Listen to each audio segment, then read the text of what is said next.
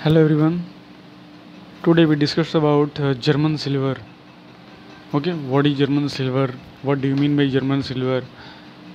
तो uh, इसके बारे में हम आज देखेंगे कि जर्मन सिल्वर क्या है और चैनल को सब्सक्राइब और बाकी सब जो है करते रहिए आप लोग ठीक है तो जर्मन सिल्वर एक्चुअली है क्या सिल्वर भी है कि नहीं है ये ठीक है इसके बारे में हम डिस्कस करेंगे आज सबसे पहले देखते हैं कि जर्मन सिल्वर uh, किसने ढूंढा कहाँ खोज हुई इसकी, ठीक है? तो the German silver was named after Maillot and Chorier who discovered it in France in 1820 इसको दो डिस्कवर्स के दो वैज्ञानिक कह सकते हैं, या वैज्ञानिक तो नहीं है, नहीं थे ये। ये कारीगर थे, ठीक है? तो इन्होंने इन्होंने ही जर्मन सिल्वर का डिस्कवर्ड किया, कहा जाता है 1820 में। लेकिन जो जर्मन सिल्वर है, इसको डिफाइन किया गया 1830 में।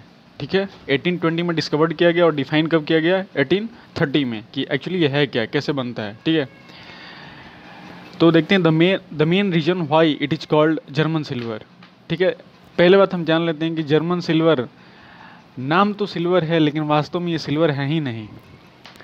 तो फिर हम सिल्वर इसको क्यों बोलते हैं? क्वेश्चन होगा ना ये। तो द ने the main reason why it is called German silver is because of it silver white colour ठीक है? इसके जो सिल्वर है, चांदी कलर होने के कारण, ठीक है, इसे जर्मन सिल्वर के नाम से जाना जाता है। अब ये एक्चुअली होता क्या है कि तीन एलिमेंट्स का मिक्सचर है, ठीक है? German silver is not really a silver वहाँ पे लिखा हुआ है because it does not contain any silver इसमें किसी भी तरह का सिल्वर मटेरियल्स होता ही नहीं है, ठीक है? इसमें तीन तरह के अलग अलग एलिमेंट्स होते हैं। पहला एलिमेंट्स है कॉपर का निकेल के एंड जिंक का। ये अलग अलग प्रोपोर्शन में आ, मिक्स करके इसको बनाया जाता है। और एक बात और कि ये ज्वेलरी के लिए सूटेबल नहीं है। ये अनसूटेबल फॉर ज्वेलरी हैं। ये इनसे ज्वेलरी आप नहीं बना सकते ठीक है? तो ये कौन कौन से white alloy of nickel while alloy मतलब सब समझते ही होंगे। निकेल जिंक और कॉपर इन तीनों को मिक्स करके एक परफेक्ट प्रोपोर्शन में ठीक है? परफेक्ट प्रोपोर्शन में इन, इन तीनों को मिक्स करके जो सब्सटेंस बनता है वो क्या होता है? जर्मन सिल्वर कहलाता है ठीक है? अब जरा समझते हैं कि एलिमेंट्स ऑफ़ जर्मन सिल्वर इसमें कौन कौन से एलिमेंट्स हैं? तो पहला है तांबा इंग्लिश में कॉपर बोला जाता है जस्ता इंग्लिश में जिंक निकेल तो निकेल तो बोला जाता है। अब अब देख रहे हो ऊपर 50 परसेंट यहाँ पे दिया हुआ है एक दिया 50 percent thirty five percent and fifteen percent इसका मतलब क्या भाई? 50 परसेंट और 35 परसेंट और 15 परसेंट का मतलब ये है कि यदि आप 15 परसेंट तांबा 35 परसेंट जस्ता और 15 परसेंट निकेल मिक्स कर रहे हो तो जर्मन सिल्वर का फॉर्मेशन हो जाएगा, ठीक है? लेकिन नीचे नीचे में आप देखोगे एंड करके एक और चीज़ दिया हुआ है, ठीक है? वहाँ पे भी वही है, सिर्फ़ copper zinc and nickel sixty twenty twenty अब क्या है कि ये अलग अलग प्रोपोर्शन में है। ये जो आप देख रहे हो, ये मिक्सचर मैंने एक मैगजीन्स है, ठीक है?